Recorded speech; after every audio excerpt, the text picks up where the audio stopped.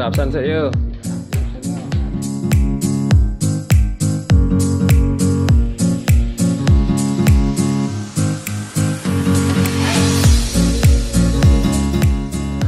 Ini Mas Adan dari RRI Solo Malu di syuting ini ya. Mas Adan Susanto.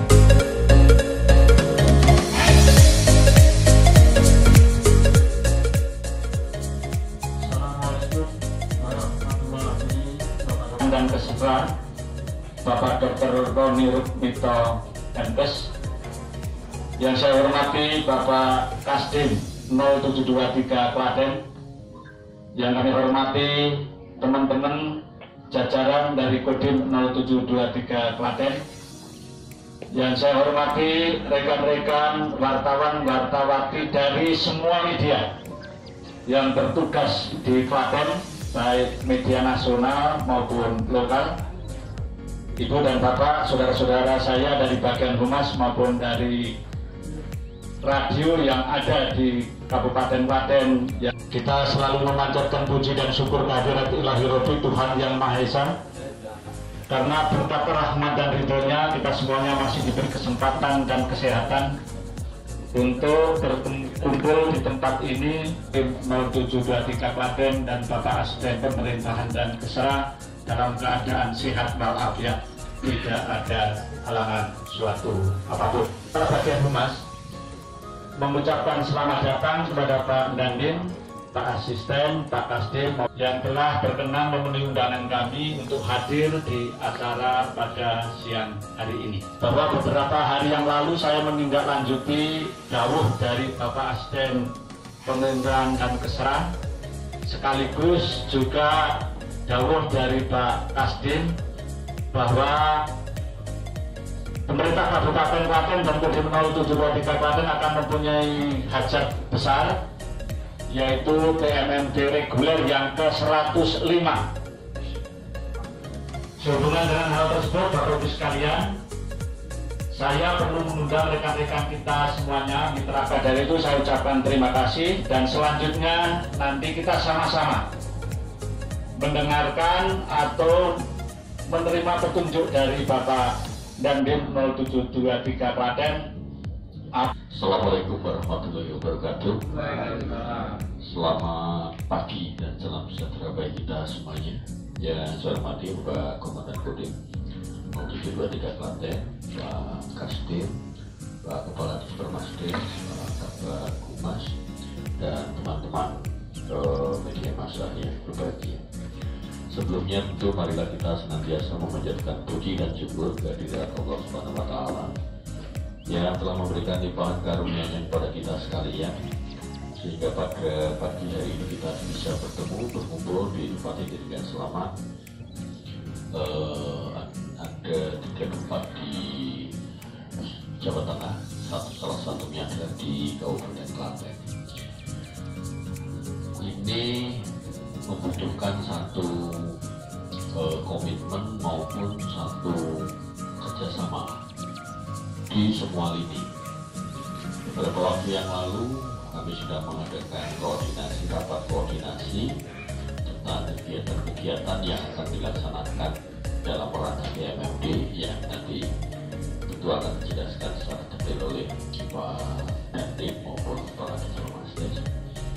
Salah satu hal yang cukup menonjol pada waktu DMMD reguler yang lalu adalah peran jurnalistik. Peran, peran jurnalistik pada waktu itu sangat luar biasa. Uh, meliput, kemudian juga memberikan analisa, kemudian memblow up kegiatan-kegiatan yang ada di TMMD yang lalu. Sehingga eh, jurnalistik TMMD yang lalu itu mendapat predikat terbaik. Nah, pada TMMD 105 ini kami sangat berharap juga eh, selain peran-peran OPD juga peran-peran teman-teman eh, media berbagai macam kegiatan yang dilakukan di DMFD mudah-mudahan bisa diliput dengan baik baik media cetak maupun media elektronik dan ini uh, tentunya adalah salah satu kuncinya di DMFD adalah meningkatkan kesejahteraan masyarakat setempat. Sasarannya di Jipung kita sangat berharap bahwa dengan adanya DMMD ini akan terjadi peningkatan kesejahteraan yang signifikan. Karena berbagai infrastruktur maupun eh, kegiatan-kegiatan eh, penunjang itu dilakukan di DMMD. Nah, sekali lagi kami mohon kepada teman-teman media untuk bisa menyembuyung, untuk bisa berperan serta di dalam kegiatan BMMD uh, Reguler 105 ini kita bisa memberikan uh, apa uh, wawasan maupun materi-materi uh, kegiatan yang dilakukan di DMMD. Terima kasih atas perhatiannya dan saya kiri akhirul kalam. Assalamualaikum warahmatullahi wabarakatuh. Assalamualaikum warahmatullahi wabarakatuh. Salam sejahtera untuk kita semua. Om Swastiastu uh, yang saya hormat, yang terhormat Pak Roni, yang saya hormati Kepala di Supermarkes, yang saya hormati Pak Wayudi, yang saya hormati Pak Asti, yang saya hormati rekan-rekan wartawan dan wartawati seluruh. Klaten. Ini seluruhnya hadir ya? Ada yang hadir? Karena ada hal-hal tertentu bersamaan dengan kegiatan saya di Koren, uh, saya tidak bisa datang. Hari ini pun sebenarnya hampir saya tidak bisa datang tuh Pak Jowo tuh. Karena pas memang ada kegiatan di Korea juga. Kok untungnya Pak Daten nggak jadi ngambil? Akhirnya saya mulai lah saya kan pulang oh ya doanya Pak Joko tuh ya manjur ya. Saya ucapkan terima kasih mungkin Pak Pak Wahyudi ya untuk penyiapan acaranya. Ya untuk kegiatan siang hari ini. Ya, saya ucapkan terima kasih juga untuk kehadiran rekan-rekan wartawan sekalian. Pada kesempatan ini seperti sampaikan Pak Roni tadi, ya selain melaksanakan silaturahmi antara Kodim 072 Kabupaten utamanya dengan Pemda dengan para rekan-rekan wartawan-wartawati ini terkait salah satunya memang tentang rencana kegiatan TMMD reguler tahun anggaran 2019 yaitu TMMD yang ke-105 TMMD reguler itu TMMD yang beneran lah kalau orang bilang kan. Kalau yang kita laksanakan namanya sengkuyung itu imbangan mengimbangi saja. Perbedaannya antara TMMD reguler dengan TMMD sengkuyung itu pada alokasi anggaran. Kalau TMMD reguler sengkuyung alokasi anggaran didukung oleh pemerintah daerah saja kemudian kalau TMMD reguler itu anggaran ada dua anggaran dari Mabes TNI sendiri dan anggaran dari pemerintah daerah baik pemerintah daerah provinsi maupun pemerintah daerah kabupaten.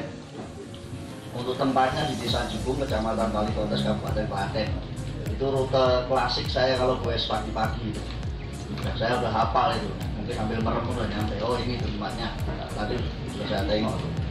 Untuk fokus kegiatannya yaitu pembuatan jembatan panjang 30 meter, lebar 2 meter, dan betonisasi jalan seluruhnya 900 meter menurut tadi pagi saya sempat menengok sebentar karena sudah mulai sebelum jadi intinya nih TMMD itu sebelum dilakukan atau sebelum dibuka sudah kita mulai kegiatan fisik pra TMMD ya harapannya nanti kalau TMMD waktunya 30 hari kegiatan itu dapat selesai. Saya tadi sudah melihat kegiatan yang paling berat adalah pembuatan jembatan. Memang kalau kita melihat cuma 30 meter. Tapi kalau lihat kondisinya ternyata airnya itu untuk tempat pancangan pertamanya itu harus sedot terus karena karena ngetok terus tuh milih terus rembes terus jadi kesulitannya situ intinya fokus utamanya adalah pembuatan pancangan untuk jembatan. Kalau pancangan jembatan itu sudah selesai kegiatan yang lain mah gampang.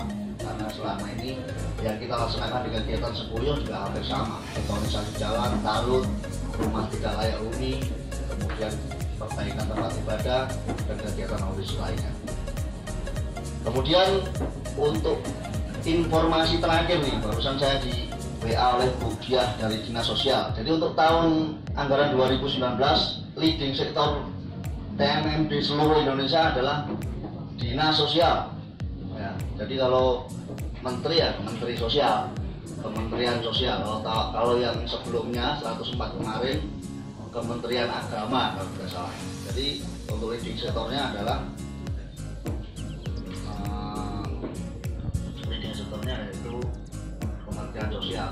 untuk waktu pelaksanaan pembukaan untuk pelaksanaan TNMD tetap sesuai dengan SD Satuan antara tanggal 10 Juli sampai dengan 8 Agustus.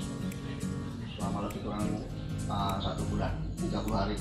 Hanya untuk pembukaannya tidak tanggal 10 nah keputusan terakhir nih dari barusan dari Budia barusan rakor dengan Disperma Des Dukcapil Provinsi tidak ada berita dari Kodam bahwa untuk pembukaan yang semula direncanakan tanggal 10 Juli diundur satu hari dari tanggal 11 Juli.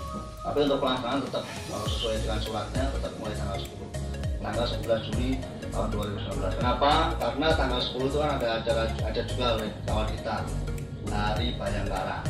Peringatan Hari Bayangkara itu tanggal 10 dia tidak bersamaan ketika dibagi-bagi kan nggak bisa ada separuh sana separuh sini nggak bisa. Udahlah nggak masalah kalau kita mau dimajukan sehari mau dimundur sehari. Yang penting kegiatan itu dapat berjalan dengan baik. Ya saya sih senang juga kalau gitu kan mengatur waktunya lebih enak lebih mudah. Pembukaannya jam saja seluruhnya serentak seluruh Indonesia. Tanggal eh kalau dari komando atas diberi kewenangan silahkan tanggal 9 boleh tetap tanggal 10 juga boleh tetap tanggal atau tanggal 11 juga boleh cuman keputusan dari provinsi uh, yang yang yang rencana menghadirkan mungkin irupnya kalau tidak gubernur ya wakil. Karena seperti sampaikan Pak Rodi tadi untuk Jawa Tengah itu ada tiga yang melaksanakan TNMD reguler, Klaten, Kodim Tegal dan Kodim Demak. Ya, ada tiga tergantung milih tuh gubernurnya ke mana, wakil gubernurnya ke mana, dan salah satunya mungkin sekda sebagai tiga provinsi ke mana. Untuk irup karena setiap pembukaan TNMD diharapkan oleh pejabat sipil utama setempat. Ya, kalau memang reguler ya diharapkan dari tingkat provinsi. Kemudian terkait dengan rekan-rekan wartawan seperti sampaikan Pak Roni tadi, ya diharapkan ikut berpartisipasi dalam apa namanya menyebarluaskan pemberitaan. Ya tentang TMMD itu. Tentunya ya pemberitaan yang baik. Harapannya biar lebih terkenal lah. Klaten ini lebih terkenal lagi gitu loh. Klaten itu ada loh. Jangan tertutup oleh Jogja Solo. Karena Klaten itu ada. Kemudian ya kemarin pada saat di Kodam saya paparkan ke Panglima kenapa kok jalan itu yang di apa? Yang dibuat jalan antara desa Cibung ke arah Rawo itu ya kalau alasan saya kan ya, yang tahu. Wilayah kan kita beliau kan nggak tahu. Kita sampaikan aja Pak izin komandan itu biar jalan masyarakat dari Cibung ke, ke Kerakitan itu lebih pendek. Biar tidak usah melambung ke kiri lagi untuk anak-anaknya yang bersekolah di Kerakitan. Saya belum cek juga nih anak-anaknya sekolah di Kerakitan atau enggak ini. Kemarin saya ngomongnya begitu ya. Ya alasan saya begitu. Ya istilahnya tujuan untuk pembuatan betonisasi jalan di yang pada kegiatan TMMD kali ini. Termasuk nah, kalau rehab tidak layak huni ya karena desa Jibung itu kategorinya masih kategori merah. Ya kalau dibandingkan dengan desa saya di Boyolali sana ya lebih sangat lebih bagus sini. Tapi nggak saya nggak tahu nih merahnya itu dari mana gitu kalau saya rumahnya udah tembok semua tuh nggak ada yang gede gitu. Kalau di kampung saya masih ada yang gede gitu rumahnya mungkin di bawahnya merah hitam kan jangan di kampung saya Iya, ya harapannya dengan kegiatan TMMD ini ke depan ya berubah statusnya jadi merah dari merah bukan nggak sudah nggak merah lagi. Kemudian saya lanjutkan untuk peran wartawan tadi atau rekan-rekan media pengalaman dulu yang di Panggang 2016 kan juara dua pialanya di kantor juara dua jurnalistik. Kemarin saya juga sudah bertanya ke rekan saya yang juara satu 104 kemarin. Bagaimana mas? Itu intinya wartawan. Kalau kita kan penilaian itu kan ada grade-nya ya, pemberitaan media nasional grade-nya pasti nomor satu. Oke Pak Joko, media Indonesia Jakarta gitu kan. Ini Pak Joko menulis tentang itu, nah, di sana nomor satu tuh Pak. Panggang tengah halaman. Nah, gitu. Panggal setengah halaman ya. Berarti tiga empat halaman gitu, misalnya gitu. Waktu itu gitu ya. Itu, itu kisi-kisinya itu Aroni ya. Tapi gini lah, kita bekerja itu bukan untuk cari cari itulah ya. Kalau saya ini bekerja, yang penting bekerja yang baik saja. Yang menilai ya silakan. Tapi tetap kita berusaha, ya kan? Tetap kita berusaha. Itu penilaian.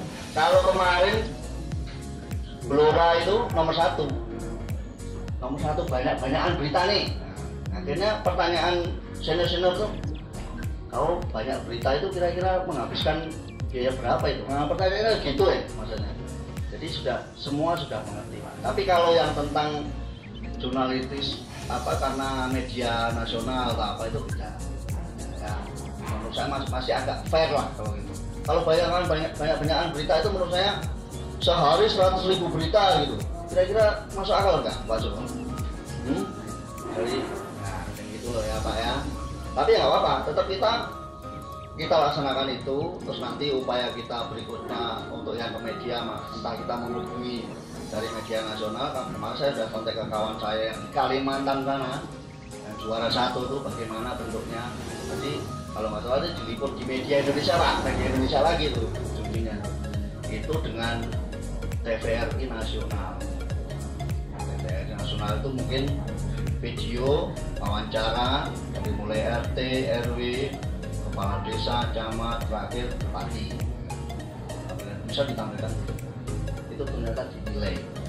Jadi itu ya. Jadi peran media itu sangat berpengaruh. Istilahnya ada hubungannya lah dengan kegiatan kita selama ini kegiatan TMMD reguler 105 di Klaten ini dapat terpublikasi dengan baik ya tujuannya ya pasti kan semua orang pengen juara juga kalau Pak Roni. Masa Pak Roni nggak pengen juara pasti tetap pengen juara. Atau rekan-rekan wartawan yang di depan saya itu nggak pengen juara gitu. Gitu. Itu. Tetap kita upayakan nanti kita berusaha semaksimal.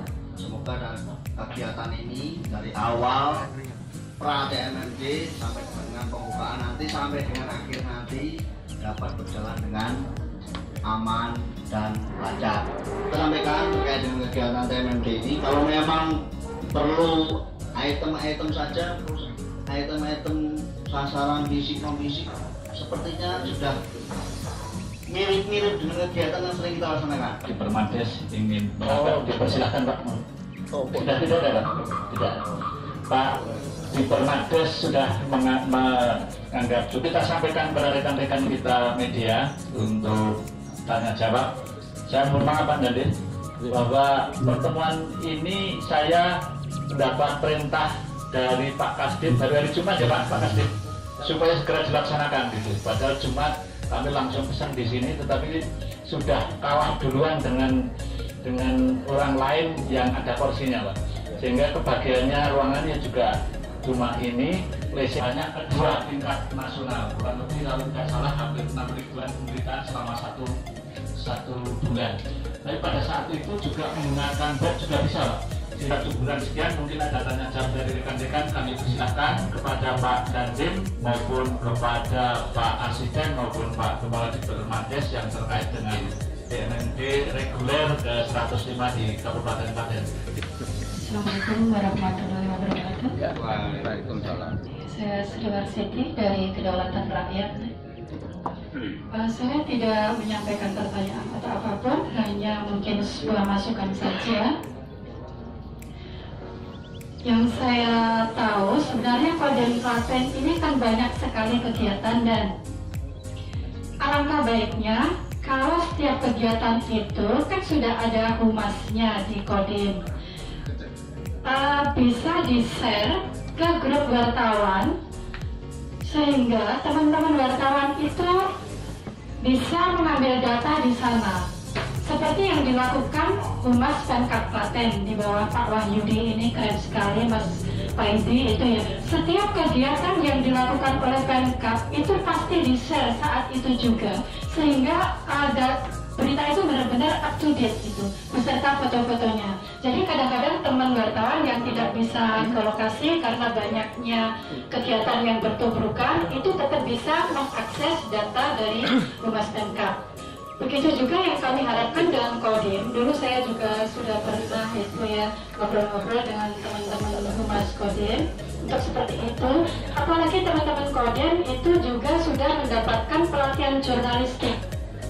Sehingga perlu sedikit pembenahan saja.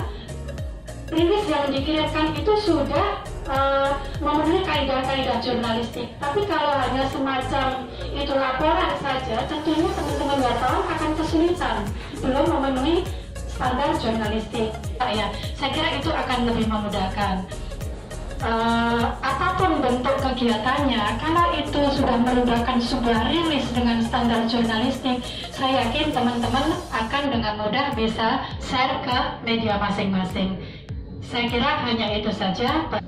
Yang kami hormati Pak Dandim.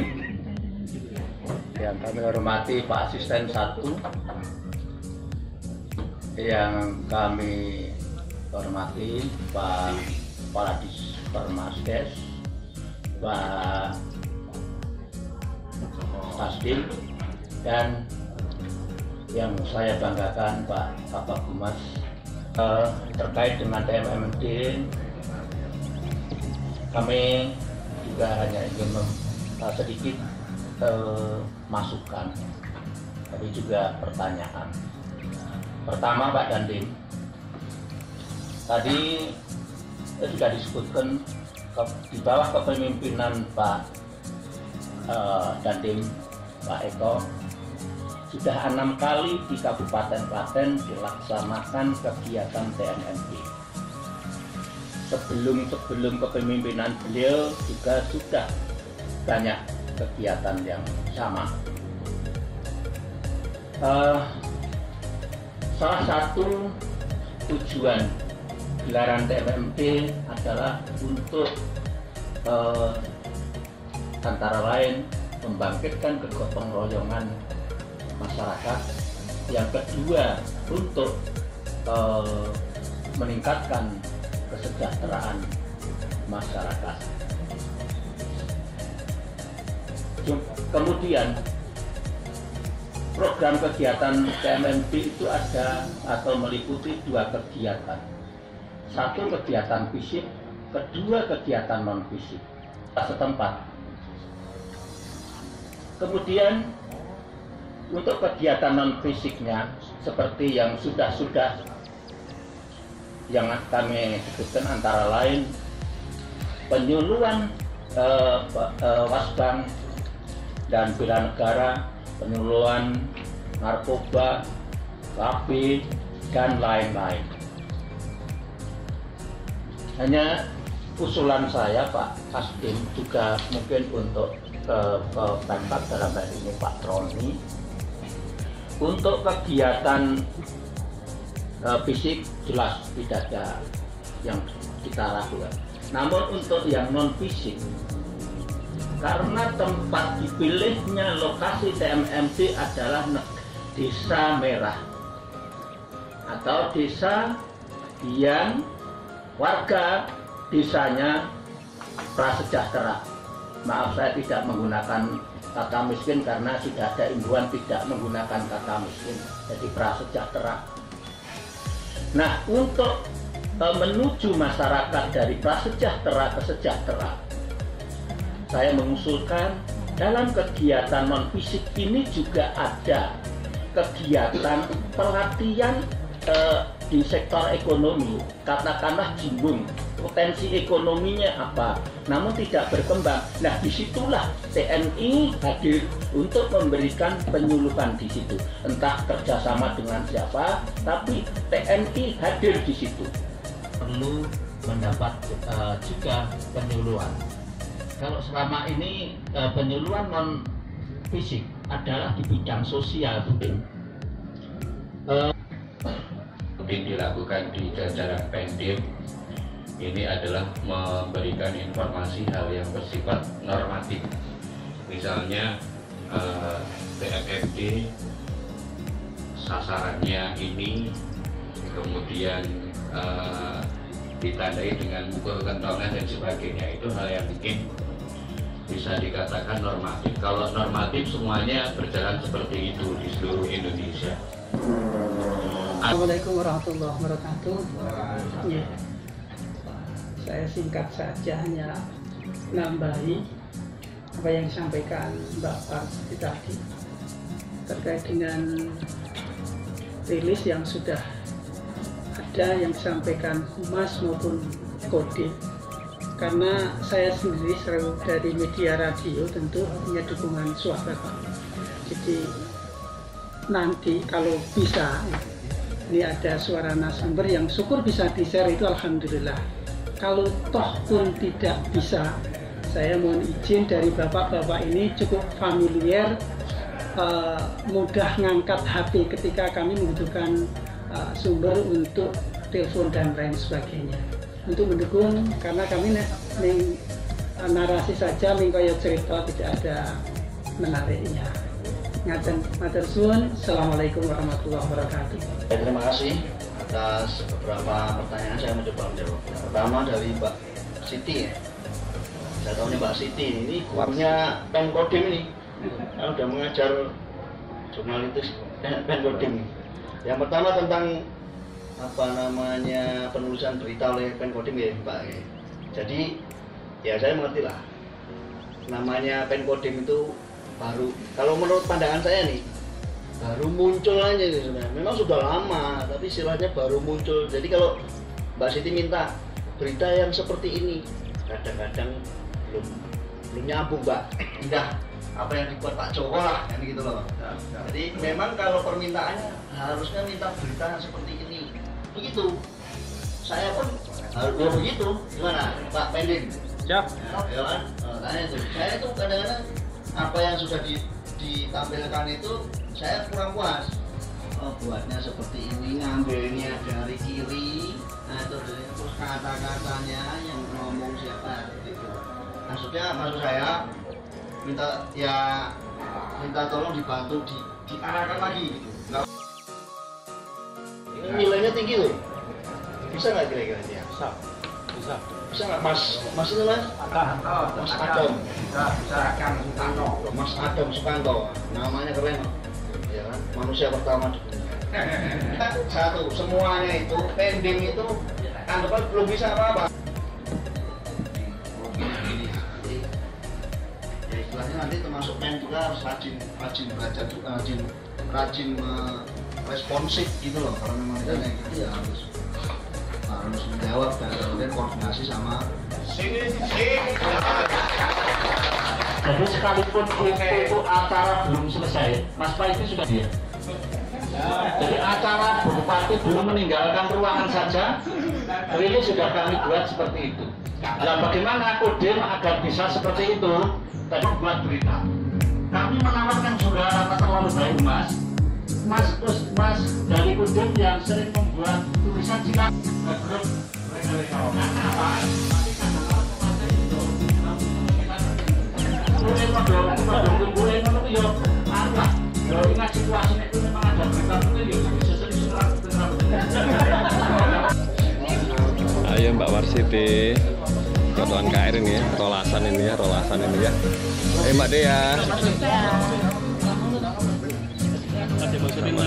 Sama ayam goreng ya? Iya, aduh, Terancam ya?